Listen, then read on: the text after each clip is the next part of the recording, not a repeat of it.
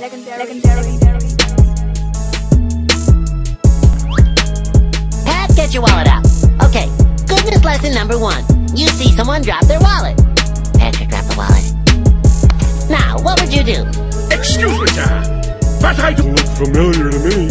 What? I just saw you drop it. Yeah, Nope, it's not mine. it is yours. I am trying to be a good person and return it to you.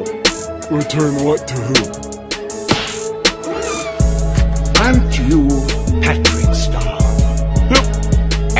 This is your ID.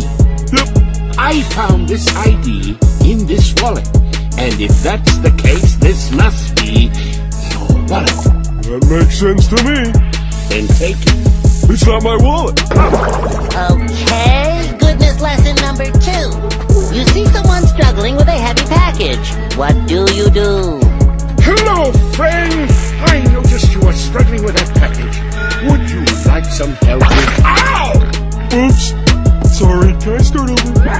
I noticed you was... Ow! Oops. Gotta start again. What? Ow! Ah! Yeah, you butterfingered pink...